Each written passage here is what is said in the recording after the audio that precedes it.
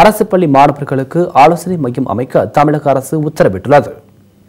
அரசு பள்ளிகளில் ஒன்பது முதல் பனிரெண்டாம் வகுப்பு வரையிலும் பயிலும் மாணவர்களுக்கு உயர்கல்வி மற்றும் வேலைவாய்ப்புகள் குறித்த ஆலோசனைகள் மற்றும் வழிகாட்டுதல்கள் வழங்குவதற்கு ஆலோசனை மையம் அமைக்கப்படும் என்று தமிழக அரசு உத்தரவிட்டுள்ளது.